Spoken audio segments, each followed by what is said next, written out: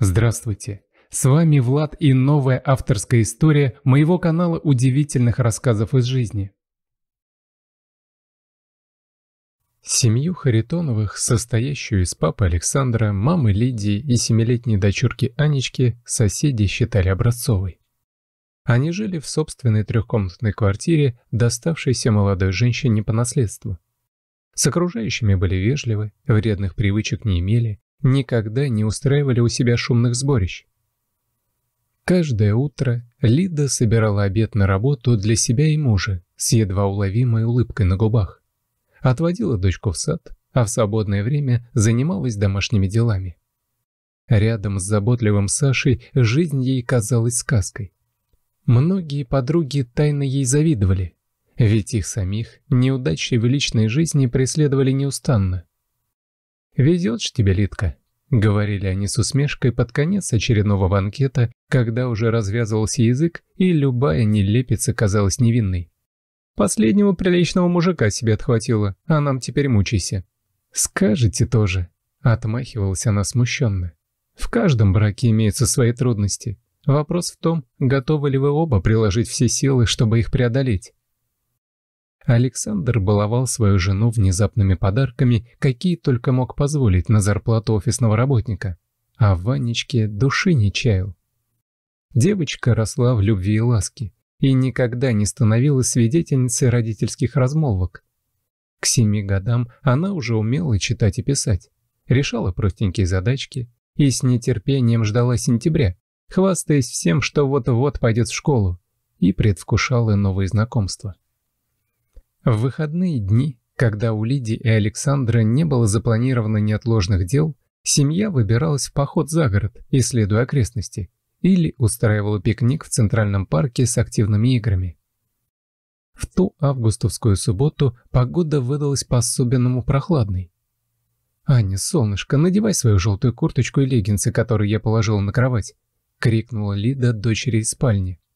«Мы идем гулять? Ура!» — запищала девочка, бросив все дела, и помчалась собираться. Последний месяц ее папа подолгу задерживался на работе, а дома жаловался на усталость. Мама говорила, что его фирма трудится над новым проектом, поэтому на отдых времени не оставалось. Но теперь все позади, и семья вновь могла проветрить голову на свежем воздухе. К тому же у Ани был день рождения, и она боялась, что проведет его скучно, но родители не забыли о празднике. Радостная девчушка собрала в свой яркий рюкзачок в форме мишки все, что, как ей казалось, могло пригодиться. А потом достала из кладовки чехол с ракетками и валанчиком. Несколько часов семья провела в парке, делая памятные фото. Лида купила мороженое для всех, Саша играл в догонялки с дочерью после того, как она обкатала все аттракционы и поиграла с породистым щенком доброго прохожего. День пролетел незаметно. Стало темнеть. В воздухе появилась вечерняя прохлада, уже предвещающая осень. «Идемте скорей, пока не превратились в сосульки». Лидия присела перед дочерью, надев ей на голову тонкую шапочку. «Точно», — согласился папа Ани. «Болеть нельзя, скоро ведь в школу. Мы ведь не хотим пропустить первый звонок?» «Не хотим. Мы ведь купили такую красивую форму и ботинки. Я так хочу познакомиться со своей учительницей», — мечтательно ответила девочка. «А у нас будет чаепитие?» «Мам, ты говорила, вы в школе каждый праздник отмечали чаем и пирожными». «Конечно, будет милая.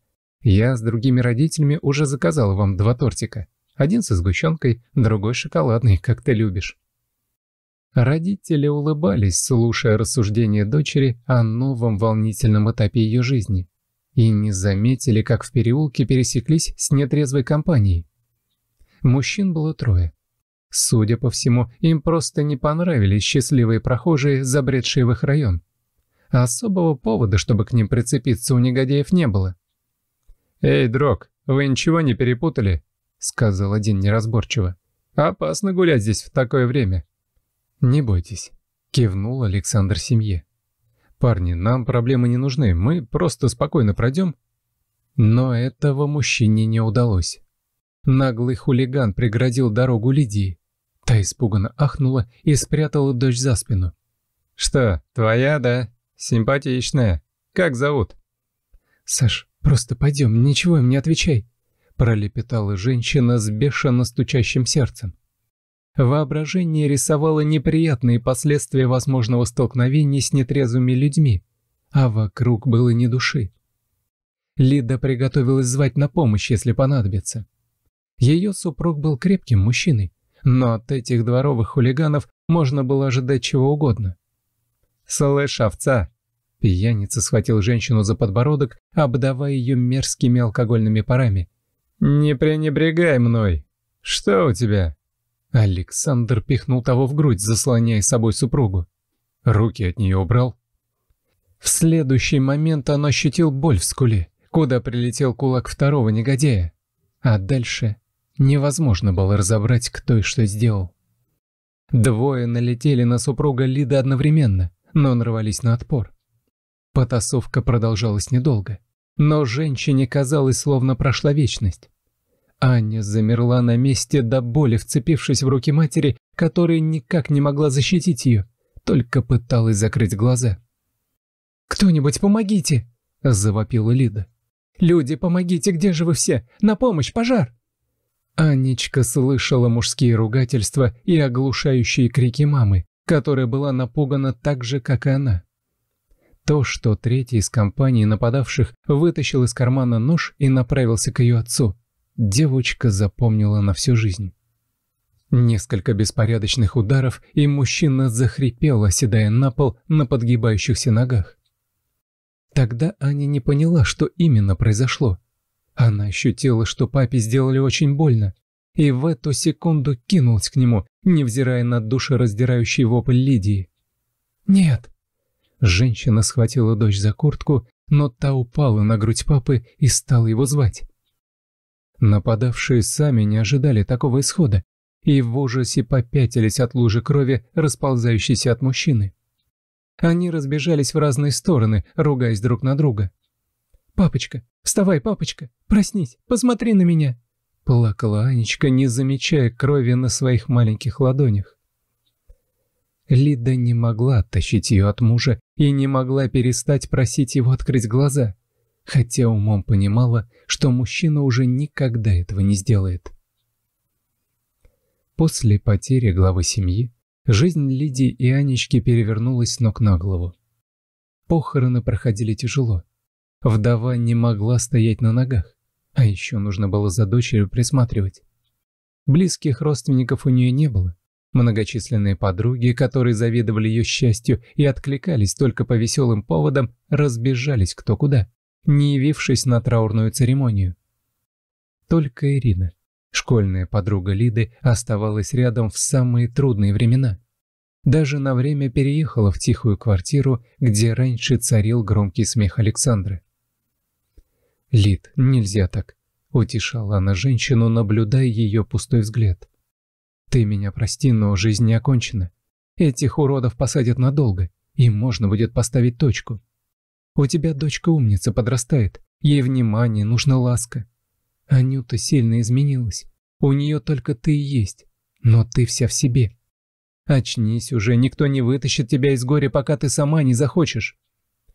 Не могу я, понимаешь? У меня дыра в сердце, огромная дыра. Я все понимаю, злюсь на себя. Я такая слабачка. Знаю, что нужна дочери, но не могу собраться. Сил не осталось. Саши нет и меня будто тоже. Никакое внимание и уговоры не помогали привести Лидию в чувство. Она настолько погрузилась в свое горе, что не могла сосредоточиться на работе. Женщина часто опаздывала, совершала ошибки, забывала выполнить поручения начальства, что вскоре привело к увольнению. Она была растеряна. Ведь теперь им с дочерью не на что было жить. Первое время, пока Лида бегала по собеседованиям и рассылала всюду свое резюме, Ирина выручила семью деньгами. Но долго это продолжаться не могло. Мама Анюта нигде не задерживалась дольше пары месяцев. Девочка ежедневно наблюдала, как она плакала, как пыталась казаться сильной, улыбаться, но было только хуже. Смерть отца заставила Аню повзрослеть и в некотором роде самой распоряжаться собой. Лидия стала рассеянной, часто не выполняла всех родительских обязанностей, и девочка выкручивалась сама. Новые проблемы не заставили женщину себя ждать. Отвлечься от очередной истерики ее заставил звонок классной руководительницы Анюты. «Лидия Владимировна, я знаю о непростой ситуации в вашей семье, поэтому долгое время старалась вас не тревожить. Но в отношении Ани нужно срочно принимать меры». «Светлана Семеновна, она что-то натворила? Это на нее не похоже, она ведь спокойная и послушная», – растерялась мама девочки. В этом полугодии ее успеваемость сильно упала. Раньше она хорошо справлялась и была лучше остальных. Но теперь программа по всем предметам становится сложнее, а Аня совсем не хочет стараться. Часто не выполняет домашние задания. Вы знали? А с некоторых пор затевает ссоры с одноклассниками, старается разозлить кого-нибудь. Лида не знала, что ответить. Она могла бы как-то защитить дочь, оправдать ее, найти причину. Только вот с ужасом осознала, что совершенно не имела понятия о том, чем живет ее ребенок сейчас. Они жили бок о бок в одной квартире, а женщина даже не представляла, что творится с Анютой. Она думала только о себе, о своей потере, не беря в расчет, что дочь потеряла не только отца, но и мама совершенно не интересовалась ею. Лида осознала, что почти три года ее ребенок отвечал сам за себя без помощи взрослых. «Светлана Семеновна, простите ее, это моя вина, я не доглядела. Я из-за собой была не в состоянии смотреть, не знала о проблемах Анечки. Дайте ей шанс, я все исправлю, все наладится», – пообещала она. Той ночью женщина прокралась в комнату Ани и уснула с ней, мысленно моля о прощении. Шли дни. Анюта заметила перемены в маме. Она стала более живой и внимательной, только грусти в глазах прибавилось. Она испытывала вину перед дочерью и старалась всеми силами загладить ее. В какой-то момент девочке показалось, что им снова может быть весело.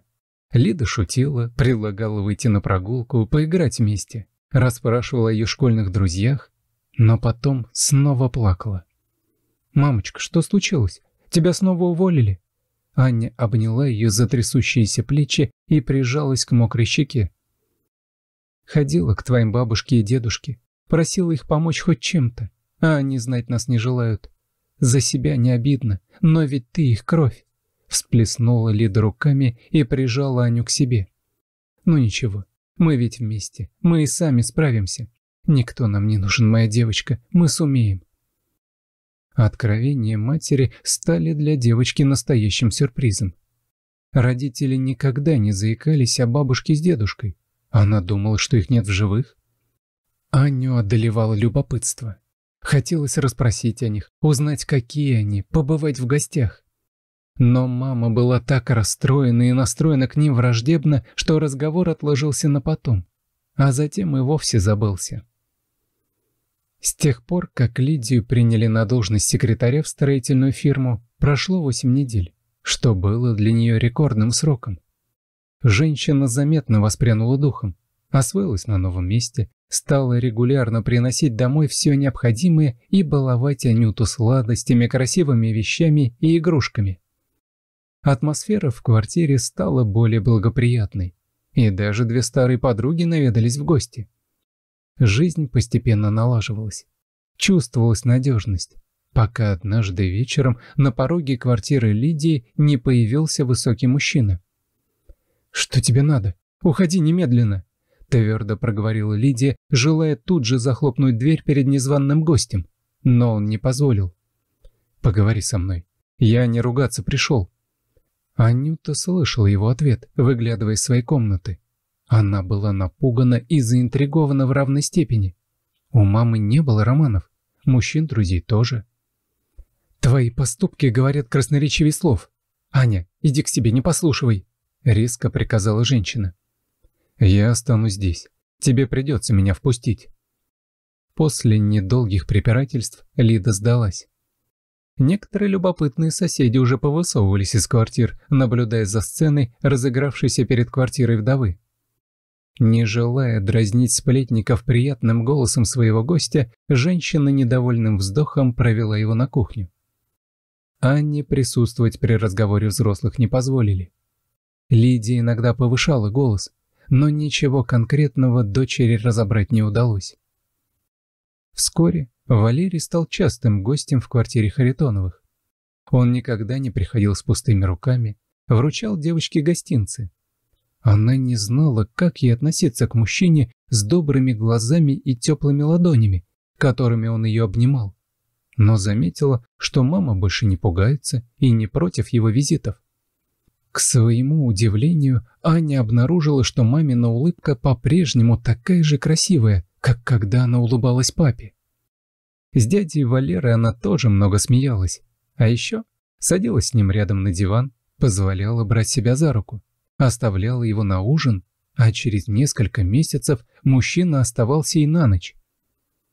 Он стал не только частью жизни Лидии, но и очень естественно сблизился с Анютой, превратился в незаменимого для нее человека.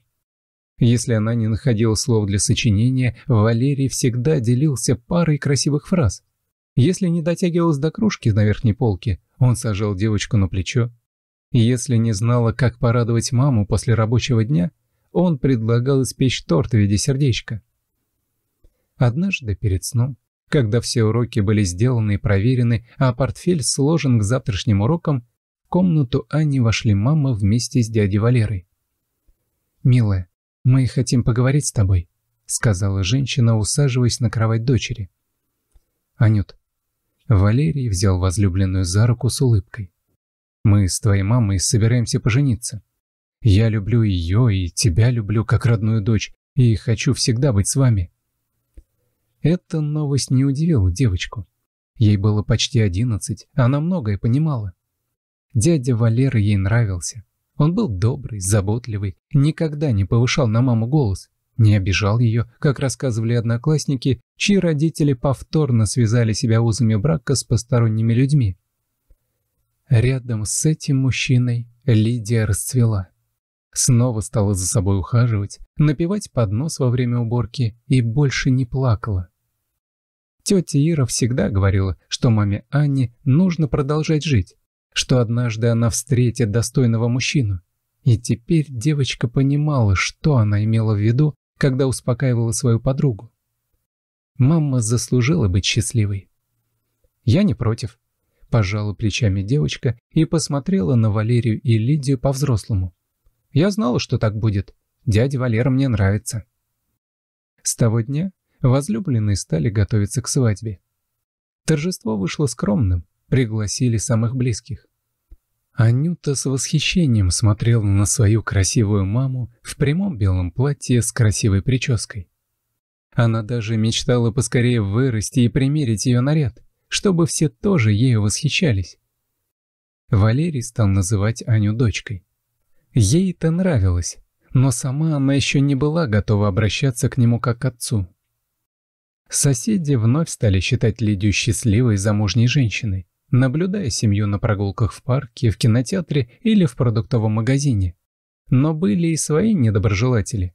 Некоторые одинокие женщины сплетничали, что Лида привела мужчину в дом, когда у нее растет дочка, словно та совершила какое-то преступление. В глаза гадости не говорили, но за спиной любили посудачить. Женщина не обращала внимания на завистников, она была слишком занята собственной жизнью и с удовольствием целовала Валерия на прощание перед работой, зная, что некоторые наблюдали за ними с балкона. Среди ночи Аню разбудил громкий голос отчима. Валерий за стеной говорил с кем-то по телефону, и иногда повышался тон. Раньше девочка никогда не видела, чтобы мужчина злился, и ей стало страшно. С тех пор, как Валерий стал с ними жить, Аня обрела покой. Она слишком хорошо знала, каким жестоким и непредсказуемым может быть мир. Картина гибели отца еще всплывала перед глазами. Она знала, что теперь они с мамой под защитой надежного мужчины. Но в ту ночь испугалась, что и с ним может что-то произойти. «Я так решил. И мне плевать, что тебе это не нравится. Я больше не дам собой помыкать», донеслось из-за стены, и Анюта сжалась под одеялом. Через несколько минут все прекратилось. Лидия босиком прокралась к двери дочери и заглянула, проверяя, не разбудил ли ее супруг. «Вроде тихо», – прошептала она. Аня слышала, как родители долго переговаривались, но не могла разобрать о чем. Мысль, что им больше ничего не угрожает, успокоила ее, и девочка провалилась в сон, так и не узнав, с кем поссорился отчим. После улучшения атмосферы в семье, школьная жизнь Анюты тоже наладилась. Больше она не испытывала проблем с успеваемостью и поведением, став лучшей ученицей в классе. Девочка вела активную жизнь, участвовала в различных мероприятиях, сценках, но больше всего любила читать стихотворения. На конкурсе чтецов при ее выступлении пускали слезу даже самые строгие члены жюри. Друзей Ане тоже хватало. После школы она частенько задерживалась во дворе, катаясь на каруселях или оставшись в гостях у одноклассниц. Но Ева Двенадцатилетняя девочка из соседнего подъезда испытывала к Ане особую неприязнь. С ней мало кто ладил из-за вредного характера. Так она еще с удовольствием передавала детям те сплетни, которые распускала обо всех ее мама. «Фу, ты что, цыганка?» Обращалась Ева к Ане, указав на ее любимые белые босоножки. «У них такой вид, будто ты их на мусорке нашла. Я бы такое в жизни не надела». «Замолчи», ты говоришь только гадости, поэтому у тебя нет друзей», — бойко отвечала уязвленная девочка. «А у твоей семьи денег нет, вы нищие, поэтому ты ходишь как голодранка», — не унималась та. «Мы не нищие, у моего отчима много денег. У тебя даже папы родного нет, ты брошенка». Противный смех надоедливой соседки всюду преследовал Анюту. Она не жаловалась родителям, потому что считала себя достаточно взрослой, чтобы справиться с издевательствами самостоятельно. Она к этому привыкла. Но Валерий из раза в раз замечал, что падчерица возвращается с улицы с грустным лицом, но старается этого не выдать. «Дочь, что случилось? Тебя кто-то обижает?» — спросил как-то мужчина, закрыв за собой дверь ее комнаты, чтобы не заставлять Лидию переживать. Я не хотела говорить, но Ева постоянно меня обижает. Она злая и вредная. Неожиданно для себя Аня с облегчением расплакалась в объятиях Валерия и выложила ему всю неприятную историю от начала и до конца.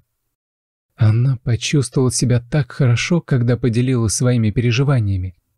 Боялась, что взрослые сочтут ее проблемы неважными, но чем не рассмеялся. Он провел с девочкой около часа, объясняя, что такие дети, как Ева, сами лишены родительской любви и внимания, поэтому придираются к остальным. Им больно, и они хотят задеть других. Приближался двенадцатый день рождения Ани. В тот год Валерий потратился на детский праздник в развлекательном центре, куда пригласил аниматоров. Он украсил зал не без помощи Лидии и позвал всех друзей девочки, в том числе и Еву. С утра именинницу нарядили в шикарное платье, о котором она мечтала, и не забывала напоминать об этом родителям, и отвезли на праздник.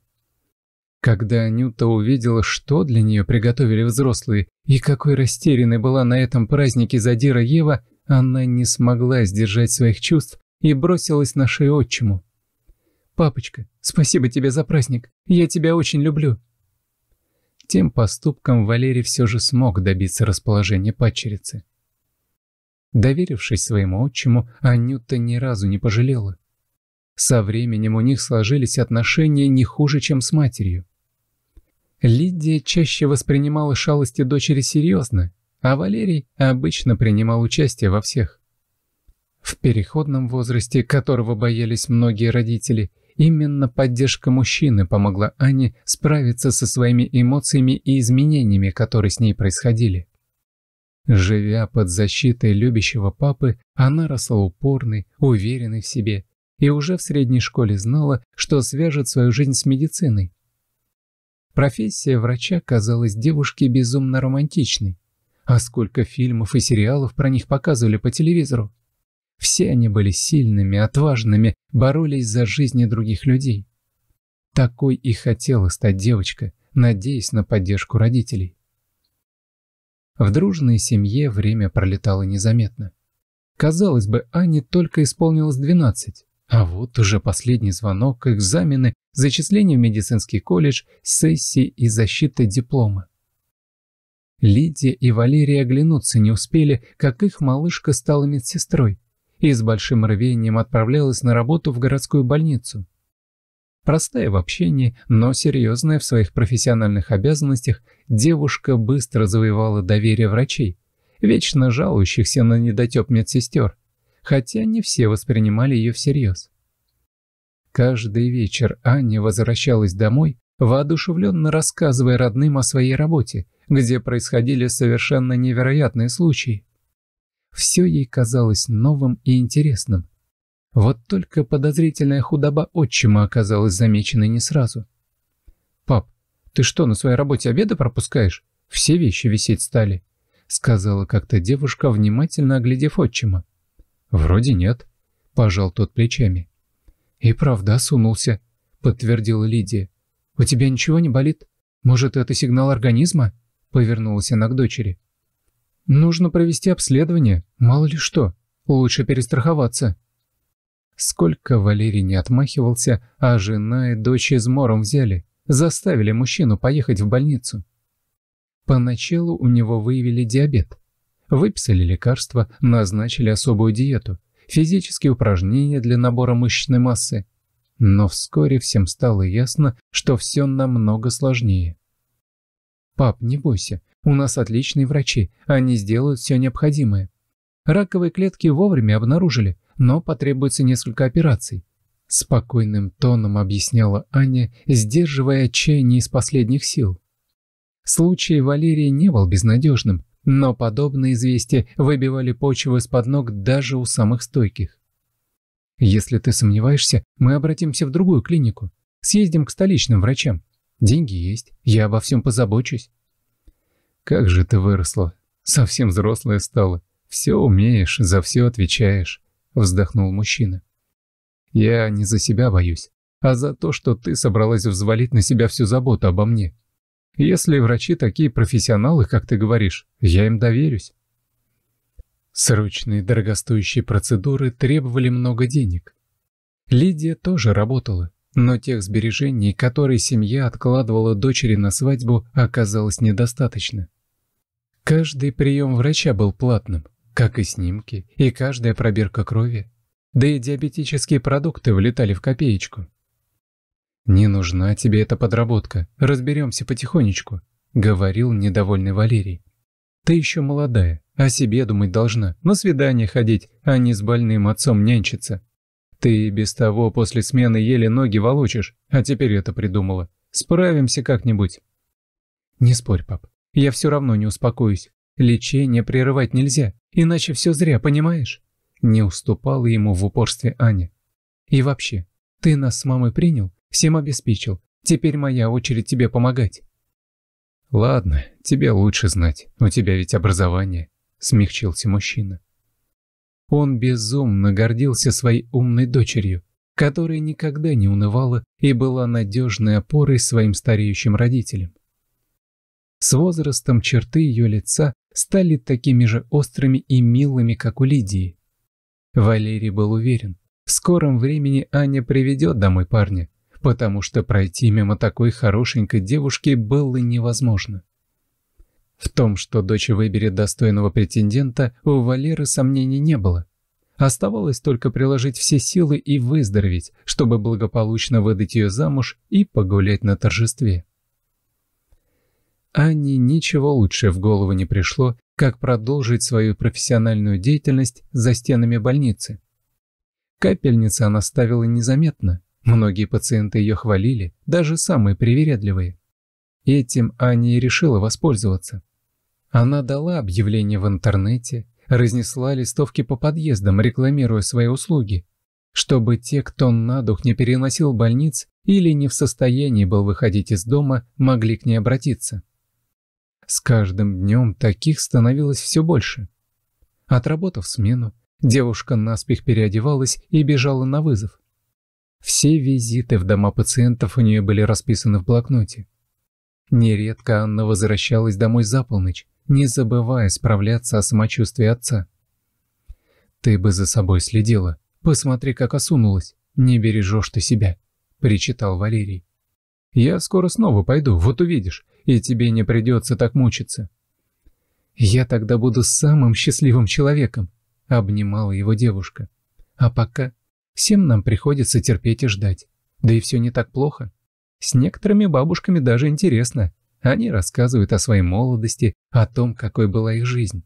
Сегодня, представляешь, была у одной актрисы. Роданова, кажется, ее фамилия. Такая веселая, постоянно улыбалась. И живет одна. Было видно, что гости к ней не часто заходят, и она рада любому слушателю. Она играла только в молодости. Карьера быстро закончилась, а теперь о ней никто уж и не вспоминает.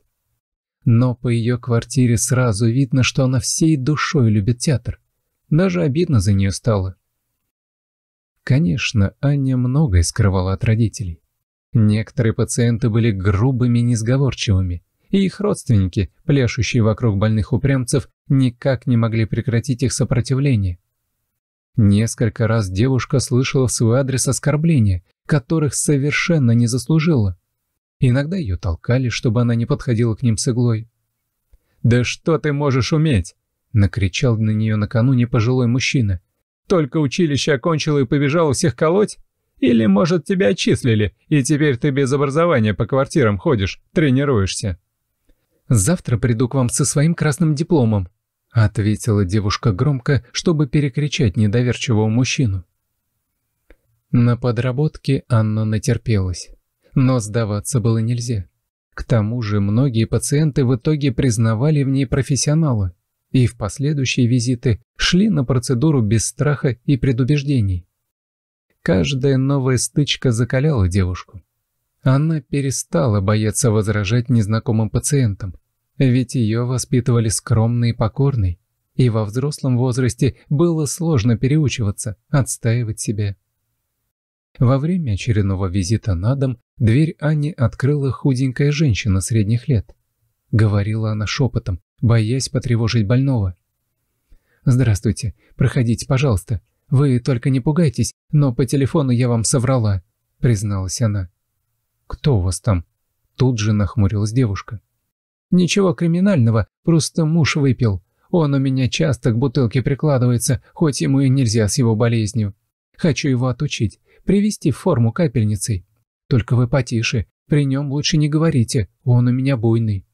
Две медсестры до вас уже отказались, вот я и не стала правду говорить. Прошу вас, только не уходите. В глазах Светланы появились слезы. Я уже так не могу. Не выдерживаю его пьяных выходок, а бросить не могу. Мы ведь по любви поженились, а теперь он болен. Какой же я буду женой, если брошу его в таком состоянии? А как же клятва перед Господом? Помогите нам, пожалуйста. Вы ему сильно жизнь облегчите. Аня вздохнула. На руках хозяйки дома она заметила красные следы, да и на шее тоже. Было ясно, супруг ее держит силой, а выпив, совсем меры в агрессии не знает. Такого девушка выручать бы не стала, но раз уж пришла, не могла просто уйти, оставив супругу с ним наедине. А то вдруг он снова на нее набросится. Хорошо, ведите. Пациентом оказался крупный мужчина с лишним весом. Такому легко было обидеть кого угодно. Аня с опаской посмотрела на глубоко спящего человека, поставила на стол свой чемоданчик, сняла куртку, надела перчатки и приступила к работе. Но стоило ей подойти с иглой к пьяному пациенту, как тот распахнул глаза и больно ударил ее в грудь, отпихнув от себя. «Ты кого это привела?» – заорал он на супругу. «Снова меня лечить пытаешься? Да и я тебя!» «Витя, пожалуйста, не надо!» Светлана бросилась закрывать собой Анну. Но мужчина отшвырнул ее как куклу, не заботясь, что она сильно ударилась боком о выпирающую ручку на дверце шкафа. Аня застыла на месте, как тогда, когда пьяницы напали на их семью. Обычно она не терялась в трудных ситуациях, но сейчас не могла пошевелиться и получила сильную пощечину тяжелой рукой. Это помогло ей прийти в себя. «Пошел прочь! Ну!» — закричала она, выставив иглу вперед себя. «Только подойди, и я воткну ее тебе в глаз». Связалась на свою голову. «Да я полицию вызову, и тебя закроют, придурок!» Анна попятилась к креслу, куда бросила верхнюю одежду, чтобы достать из кармана телефон. Светлана обняла мужа со спины, стараясь остановить его, а девушка смогла выбежать во двор и там позвонить. Закончив разговор, она не заметила, что ее трясет. Аня могла лишь думать о том, что оставила слабую Светлану наедине с разъяренным мужчиной, явно не простившим ей предательства. Схватив метлу, что стояла у входной двери, Анна побежала на выручку. Приехавшие на место вызова полицейские повезли всклокоченную троицу в участок. «Значит, вы, Виктор Михайлович, утверждаете, что Анна Александровна никакая не медсестра?» «Да воровка она самая настоящая, вы только посмотрите на нее!» Перебил Виктор молодого лейтенанта Сергея Сорокина, пытающегося разобраться, кто же стал зачинщиком драки. Нетрезвый мужчина и две перепуганные женщины со следами насилия на лице уже на многое указывали. Немного очухавшись от потасовки, супруг Светланы решил свалить вину на девушку, якобы прикидывающуюся медсестрой и втирающейся в доверие к больным гражданам, чтобы обчистить их скромные жилища. Вот я и принял меры. Я таких мошенниц за версту чую. А я чую ваш перегар, огрызнулась Анна, сидя с оторванным от рубашки рукавом. Нужно было сразу вас иглу воткнуть, уже бы дома была. Вся злость девушки тут же улетучивалась, когда она замечала, как на нее смотрит Сергей. Красивый, форма идет, да еще и вечно поглядывает на пострадавшую, жалея, что ей довелось такое пережить. «Видите, гражданин начальник, она меня вообще убить хотела. Я бы на вашем месте проверил содержимое ее чемоданчика. Вдруг у нее там яды какие-то, которыми она простых людей опаивает, или отмычки». «Новак, успокойтесь, мы во всем разберемся», — успокоил Виктор лейтенант. Когда Анне позволили уйти, была уже ночь. Мама звонила несколько раз, но девушка лишь заверила, что просто попался проблемный пациент. Подробности решила отложить на потом. Их семье хватало переживаний без этого инцидента. «Разрешите вас проводить?» Сергей появился перед девушкой неожиданно, и она чуть не вскрикнула. «Ой, простите, не хотел вас напугать». «Здесь недалеко, я сама дойду», — по привычке отказалась Анна но, увидев разочарованное лицо молодого мужчины, все же согласилась. Хотя, знаете, я не против. Мне хватило приключений на сегодня, в другие попадать не очень хочется. Одной встречи Сергея и Анны не обошлось. Девушка сразу заметила, что понравилось ему, да и он ей приглянулся. В школьные годы у нее были некоторые симпатии, но они быстро угасали. А в колледже не до свиданий было. Учеба отнимала все время. Сергей сразу показался Ане порядочным. И дело было не в форме, которую он носил. Его манеры, речь, отношение к ней и окружающим покорили девушку. Зная о непростом финансовом положении семьи Анны, Сергей не предлагал пойти в кино или в кафе, ведь девушка сразу все отвергала. Он приносил на их прогулки корзинку с едой и пледом, и молодые люди устраивали пикники в зеленой части города. Больше никаких инцидентов с Аней не происходило, и подработку она не бросила, потому как молодой мужчина везде ее сопровождал и следил за ее безопасностью. Рядом с ним девушка ощущала спокойствие. Анна чувствовала желание Сережи защитить ее, укрыть от всех невзгод. Хоть они и были знакомы недолго. Чувства между ними разгорались все сильнее. Стараниями жены и дочери Валерий получал необходимое лечение, но впереди ожидались новые траты. Мужчина чувствовал себя обузой, ведь его дамы так трудились ради него, а он был вынужден бессильно наблюдать за их усталыми фигурами. Но от глаз родителей не укрылось то, что дочь стала более оживленной и мечтательной. Им стало ясно, что Аня постоянно о ком-то думает, но не стали смущать расспросами. Скорей бы уже она созрела и рассказала нам все. Не могу терпеть. Хочу увидеть этого ухажера», — поделился Валерий с женой. «А вдруг она ошибается? Вдруг он ее обидит, а мы даже не будем знать?» «Я сама еле сдерживаюсь, чтобы не начать этот разговор издалека», — вздохнула Лидия. Дочь ни разу не знакомила родных с избранником, даже не делилась симпатиями, все личное держала при себе. В этом же случае даже спрашивать не было нужды. Родители понимали. Аня влюбилась.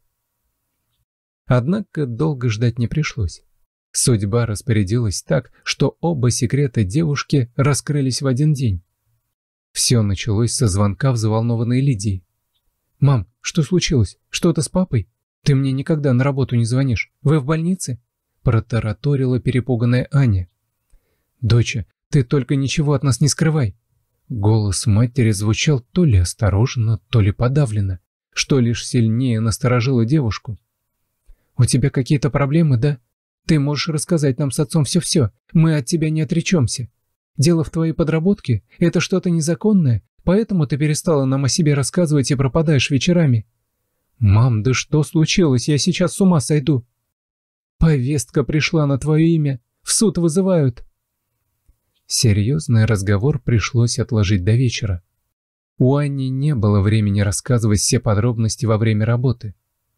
Назначенного часа все трое ждали со страхом. Девушке было стыдно, что она не призналась во всем вовремя, а родители извелись, боясь, что Аня могла пойти на крайние меры ради выздоровления отчима и придумала какую-то незаконную схему с медицинскими препаратами. «Да с чего вы взяли вообще?» Изумилась дома дочь. Хотя идея получше моей. Больше бы денег принесла. Меня бы заподозрили самый последний. Аня. Хором отозвались родители. Ладно, ладно, не бойтесь. Меня вызывают в суд не в качестве подсудимой, а в качестве потерпевшей. Что ты такое говоришь? Что произошло? Почему ты нам не рассказала? Аня взяла шокированную маму за руку и села ближе. Простите меня, я не хотела зря вас волновать. Все же закончилось хорошо, вот и замяло тот случай. Лидия и Валерий потребовали все им рассказать, ничего не утаивая. Выслушав историю до конца, женщина тут же расплакалась. «Дочка, тебя ведь убьют. Тебе нельзя в суд. Я по телевизору видела, как такие дела решаются. Лучше не светиться». «Да я сам его убью, как с постели встану. Руки переломаю этому уроду. Пусть его засадят до конца жизни козла такого, раз на женщин руку поднимает. Жена его тоже хороша. Столько терпеть и другого ребенка под удар подставить. Все. Больше ты вне больницы не работаешь, чтоб я об этом не слышал. Не хватало нам тебя по всему городу искать, если что вдруг случится. Я запрещаю. Папочка, ну не надо так. Я неплохо заработала на этом. К тому же... Анна смущенно опустила взгляд. Теперь мне нечего бояться. У меня есть защитник, который провожает меня по каждому адресу, заранее узнав, что за люди там живут. «Ухажер этот твой?» — все еще строго спросил отчим. «Я вас позже познакомлю, но он вам понравится. Он полицейский и очень хороший человек, бережет меня». Суд прошел через неделю. В зал заседания с Анной пошла Лидия, чтобы было хоть одно знакомое лицо в этот трудный час. Виктора осудили по нескольким статьям, Оказалось, он был известным на всю округу дебоширом, у которого нашлось немало недоброжелателей, когда началось следствие. Вскоре все было позади. Аня знала, что ее обидчик получил по заслугам, да и Светлана теперь была свободна. Она даже встретилась с девушкой после объявления приговора и сказала, что не станет навещать мужа в тюрьме, а потребует развод. Пусть Виктор получил всего несколько месяцев заключения, женщине хватит и этого, чтобы навсегда исчезнуть из его жизни. Хватит прятать меня от родителей. Сергей дотронулся до лица Ани и погладил по щеке. Пора знакомиться. Я хочу, чтобы они меня узнали и доверяли. Тебе кажется, что ты поступаешь хорошо, но им будет спокойнее отпускать тебя со мной после знакомства. Ты ведь моих уже знаешь. Хорошо, Девушка обняла возлюбленного за шею. «Спрошу у мамы, когда будет удобно устроить обед». «Но берегись», — рассмеялась она. «Папа меня очень любит. Он не отдаст меня просто так». Несмотря на тяжелую каждодневную работу, Аня светилась от счастья. Уже несколько месяцев она носила на цепочке на шее кольцо с небольшим камушком, с которым Сергей сделал ей предложение. Ведь в больнице запрещались любые украшения на руках. Молодые люди еще жили раздельно, но готовились к свадьбе, предвкушая главный праздник в их жизни. Девушке приходилось продолжать подрабатывать, потому что торжество требовало много трат, хотя Анна не была помешана на организации так же, как обычные невесты. Ее жениха должны были вот-вот повысить, а значит и поднять зарплату. Да и в целом семье Анни стало легче дышать.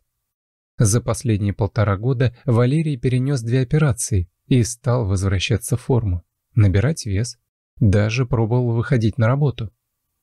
Теперь он прикладывал все силы, чтобы организовать для дочери лучшую церемонию, которой она была достойна. «Не переусердствуй, только окреп же», Ворчала на него Лидия. «Если сдвинуть свадьбу на несколько месяцев, на все успеем спокойно накопить». «Им ведь уже не терпится жить под одной крышей. Ты же видела, как они смотрят друг на друга», — возражал мужчина, ласково погладив супругу по спине. Сергей продолжал провожать невесту на каждую подработку, напоминая, чтобы она была осторожна. «Ну и зануда же ты!» Игриво смеялась девушка, когда пара подошла к роскошному особняку. «Ничего себе дворец! Неужели его жители не могут себе позволить кучу врачей из лучших клиник? Зачем им я? Сереж, подожди меня здесь, я быстро. Здесь я точно на неприятности не нарвусь. Звони, если что». Махнул Сергей невесте вслед. «Или, может, все-таки пойти с тобой?» Анна прошла к дому через большой ухоженный двор с аккуратно остриженным газоном и кустами, с цветущими клумбами и фонтаном. Справа виднелся павильон, в котором, предположила девушка, мог располагаться бассейн. За домом постоянно ухаживали. Он не был похож на старый замок, хозяева которого потеряли былую славу и богатство. За каждым углом особняка следили. Нигде не было ни пылинки, ни скрипели половицы, ни гулял сквозняк. Все ковры были пропылесошены, картины ровно развешаны, а в вазах в коридоре стояли свежие цветы. Огромное помещение проветривалось и манило молодую гостью внутрь. Только комнаты казались одинокими и забытыми. Стало ясно, что жил там только старый хозяин, а управляла всем домработница Марта, которая и встретила Аню. «Добрый день, прошу за мной, Павел Леонидович уже ждет вас». Анна с улыбкой поздоровалась и последовала вслед за женщиной. Она была не молода, но выглядела очень свежо, напоминая строгую экономку из фильмов. Спальная комната размером с квартиру Лидии была погружена во тьму плотными шторами на окнах. На широкой кровати в шелковой пижаме лежал крупный седой старик. Анна навидалась много пожилых людей, но от этого, несмотря на преклонный возраст, исходила сила. Она поняла, что Марте приходится несладко с таким начальником. «Не бойтесь, ласточка, подойдите ближе», — проговорил Павел, жестом подозвав ее к себе. «Мне нужен свет», — тут же распорядилась Аня и принялась за дело. «У вас хорошие вены». «А у вас легкая рука. Не то, что у тех бестолковых, что приходили раньше». Слабо улыбнулся старик. Вам хватает домашнего ухода? Все хорошо. Прокапываюсь время от времени. Звоните еще, если понадоблюсь. После процедуры Аню попросили подождать, пока Марта принесет оплату. Девушка села в предложенное кресло, но заинтересовалась большим фото в резной раме, висевшем напротив двери. Она подошла ближе и тут же застыла. На снимке был изображен сидящий на стуле Павел Леонидович, только значительно моложе. А по обе стороны от него стояли родной отец Анны и ее отчим. На вид обоим было не больше двадцати лет. Девушка растерялась. Она не могла понять, почему они все знакомы, как их свела судьба и почему это похоже на семейный портрет. «Извините», — обернулась Аня к хозяину дома, не сдержавшись. «А кто это с вами?» Кто эти неблагодарные олухи? Сыновья мои, Сашка и Валерка. Старшего уже нет в живых, а такое чувство, будто оба сгинули. Предали они меня давно. выросли на всем готовом, а потом в душу плюнули, как самому последнему человеку. Бог его знает, где он сейчас. Глаза б мои его не видели. Разошелся старик и на эмоциях швырнул книгу в стену недалеко от Ани. Девушка даже не шевельнулась. Ее словно окатили холодной водой. Ее папа и отчим родные братья, а она жила в неведении. Как ей могли не сказать? Почему скрывали? А этот противный дед приходится и родственникам? Не помня себя, Анна схватила свой медицинский чемоданчик и вылетела из комнаты, по памяти направляясь к выходу. Спокойная Марта удивленно подняла тонкие подкрашенные брови, видя, как сбегает медсестра, даже не взяв денег за работу. «Ну вот, вы эту милую девушку довели своим характером». «Да я еще ничего не успел!» Павел оскорбленно скрестил руки на груди. Сергей сразу понял, что что-то не то. Аня больше не бежала, а спокойно шла, но смотрела куда-то в пустоту. «Аня, что с тобой? Что они сделали? Посмотри на меня!» Парень подбежал ближе, остановив невесту и схватив ее за руки. «Ты чего? Тебя обидели?» «Они мне все врали». Девушка подняла на жениха пустые глаза, наполненные слезами. «Мама и отчим, они все скрыли. Сколько они еще собирались ждать? А если они вообще не думали мне рассказывать?» «Что они сделали-то? Тебе нужно успокоиться. Давай, пойдем присядем, и ты мне все расскажешь». Спустя несколько минут неразборчивых возмущений Анна смогла взять себя в руки и рассказать Сергею об увиденном. «Этого не может быть. Я ведь верила им. И кому могла навредить эта правда?» «Не знаю, солнце мое». Мужчина обнял Аню, позволив ей облокотиться на его плечо. «Только твои родители могут все рассказать. Ты должна поехать к нему узнать. Я пойду с тобой». Если ты сомневаешься в них, я буду рядом, хорошо?» Когда пара попала домой к Анне, отец с матерью сразу уловили настроение дочери и обеспокоились. Но она была не настроена отвечать на вопросы, а приготовила свои. Обуздав бушующие эмоции, она смогла поделиться тем, что узнала, и требовала ответов. «Как вы могли от меня это скрыть? Мам, я помню, что родители папы не желали нас знать, но ты Анна посмотрела на отчима. «Ты ведь тоже их родня. Почему ты молчал? Вы вообще собирались мне рассказать? Я имела знать правду, я ваш ребенок. Я ничего не знала о папиной родне. Из-за пары маминых реплик я представляла их ужасными людьми. Возможно, этот дед и правда ужасный, но вы не можете прятать меня бесконечно от правды». Ни Лидия, ни Валерий не стали защищаться. Они приняли справедливый гнев дочери и не стали возражать. Какое-то время они молчали, не ожидая, что Аня однажды узнает обо всем вот так, что ее доверие к ним будет подорвано случайной встречей, кажущейся судьбоносной. «Анют, мы понимаем, что ты злишься. Я бы на твоем месте тоже злился, но мы не нашли подходящего момента. С твоей мамой мы познакомились в институте. Она была красавицей, лучшей на курсе. Любого могла свести с ума. Я тоже был не промах. Поначалу казался и заносчивым, и несерьезным, но долгие ухаживания убедили ее в обратном. Мой отец, как ты заметила, не отличается приятным характером.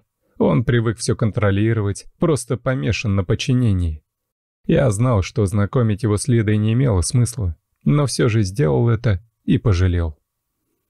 Аня слушала внимательно, стараясь не пропустить ни одной детали. Отчим поразил ее с самого начала. Оказалось, что Павел Леонидович берег свою репутацию и указывал сыновьям, что им делать не просто так. Мужчина хотел, чтобы дети пошли по его стопам и только приумножали их доход строительного бизнеса. Чтобы укрепить свое положение в узких кругах, Павел, на тот момент начинающий удачливый бизнесмен, уже присмотрел невест для обоих сыновей. Он пришел в ярость, увидев перед собой Лидию, обычную студентку, недавно потерявшую родителей. «А у девки губа не дура», — говорил дедушка Ани. «Она на тебе повисла только из-за денег, бедная сиротка. Соблазнила тебя своими большими грустными глазами, надавила на жалость, а ты рад в рыцаре играть. Очнись, сын, она ведь с тобой закрутила в надежде на хорошую жизнь. Первое же серьезное испытание для ваших отношений, и ты поймешь ее натуру. Лида не такая. Ты привык видеть в людях только плохое, потому что сам этим наполнен. Я не позволю собой распоряжаться. Тогда попробуй проживи на гроши, которые будешь получать после окончания учебы. Посмотрю, как у тебя это получится, и останется ли с тобой твоя вертихвостка. Отказ Павла обеспечивать сына не напугал Валерия. Влюбленные стали жить в квартире, где Лида росла с родителями, притираться друг к другу. Но ссоры между ними вспыхивали все чаще. В те непростые времена честному человеку жилось нелегко. Трудно было найти работу с хорошим заработком, а в некоторых местах зарплату не выплачивали месяцами. Временами деньгами помогал старший брат Валерия, Александр. Он был частым гостем в квартире пары.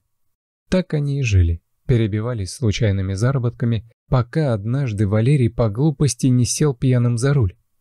Он едва не сбил человека, слегка задел, но его задержали. В полицейский участок за сыном приехал Павел и смог замять дело благодаря своим связям. Мне пришлось уехать. Со стыдом признался Валерий перед дочерью. Отец помог мне избежать тюрьмы и взял слово, что я оставлю Лиду, иначе следствие по моему делу возобновят. Если бы я знал, что мама уже ждала тебя, я бы никуда не делся, а отцу пришлось бы смириться. Но я испугался и просто исчез. Даже не предупредил. Тихо повторила Аня, чувствуя растущее внутри разочарование отцом. Теперь она знала, что отчим и есть ее родной папа. «Нет, он мне сказал, конечно», — откликнулась Лидия. «Но разве могло это меня утешить?» Я не стала искать его и просить вернуться, когда узнала о беременности. Я была обижена да и не считала твоего отца достойным семенином.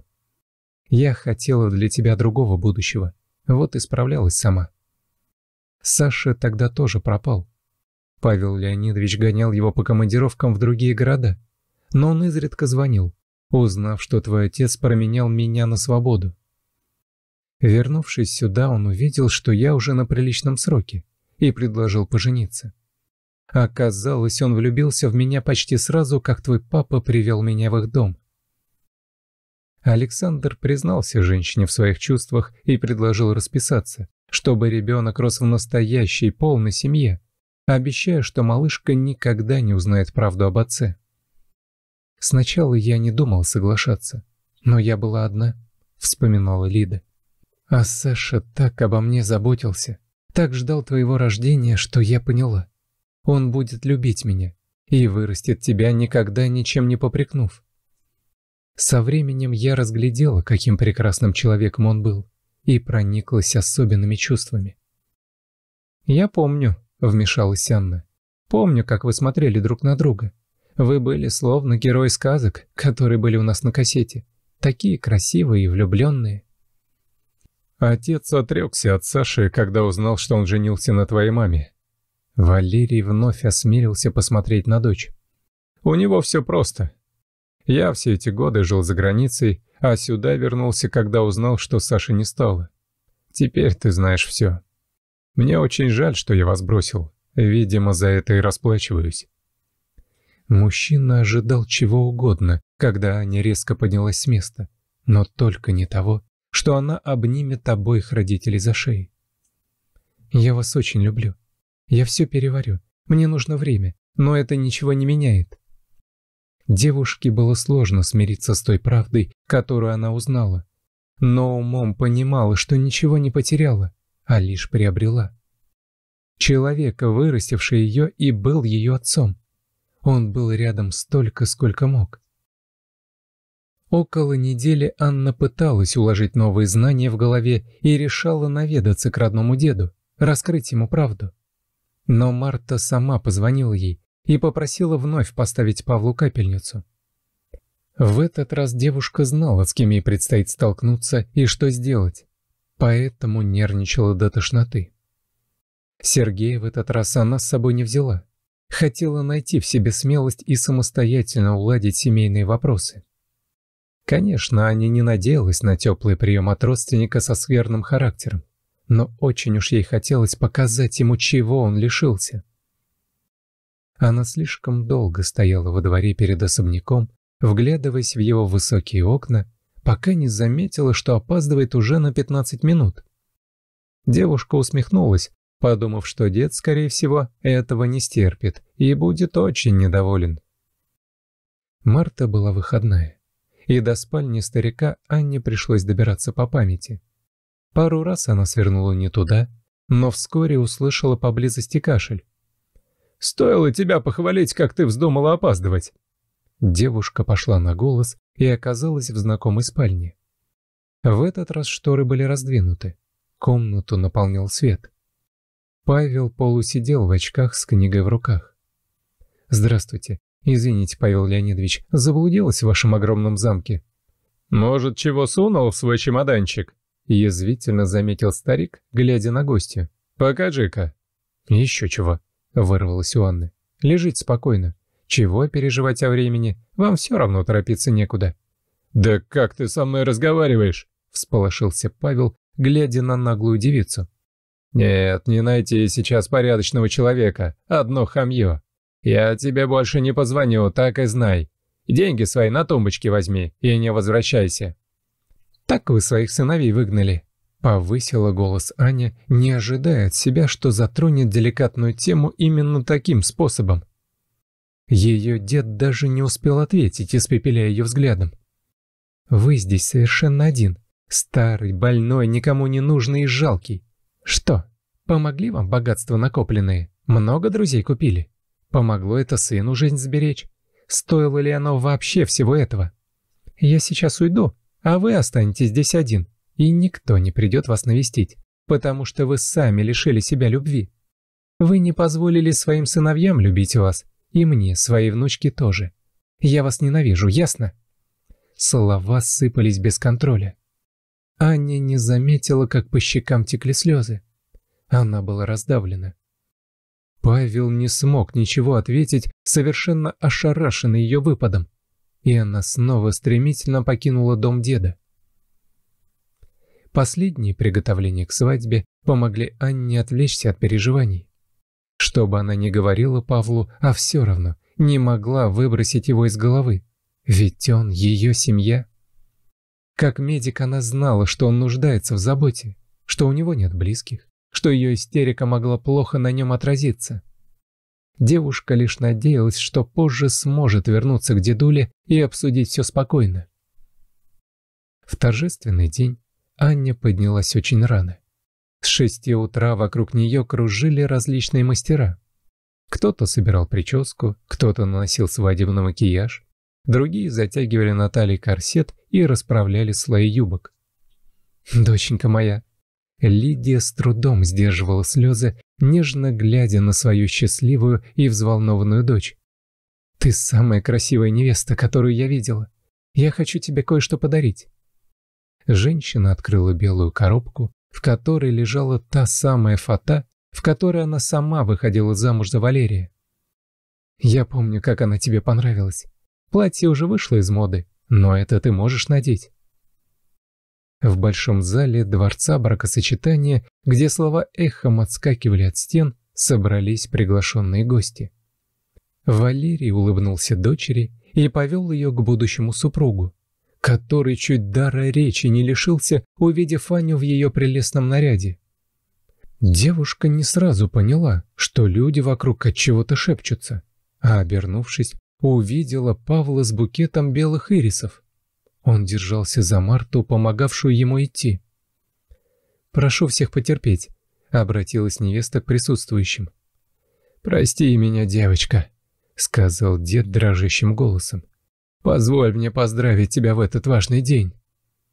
Аня с отцом подошли к нему, и невеста без раздумий обняла дедушку. Валерий выглядел напряженным, но слезы отца разжалобили его.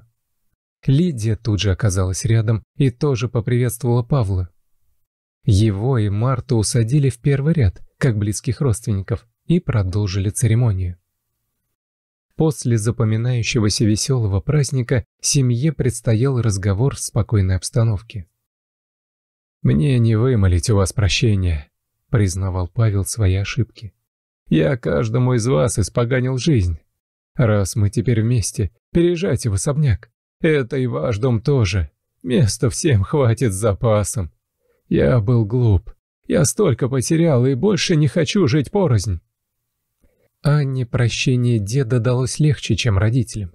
Она его не знала и быстро очаровала. А Лидии Валерии потребовалось больше времени, но в особняк они все же переехали в итоге. Теперь этот огромный дом больше не пустовал. В каждом его уголке было шумно, а Марти наняли еще помощниц, чтобы постоянно поддерживать порядок. Лида настаивал, что справится с домашними делами сама, но Павел не позволил. «Дай мне сделать для тебя хоть что-то хорошее». Аня и Сергей заняли целый третий этаж для своей семьи, обустраивая комнаты по своему вкусу. Дедушка разрешил им делать все, что душе угодно. Он был счастлив и впервые в жизни так много улыбался, глядя на свою вечно чем-то занятую семью, которой сам себя лишал всю жизнь.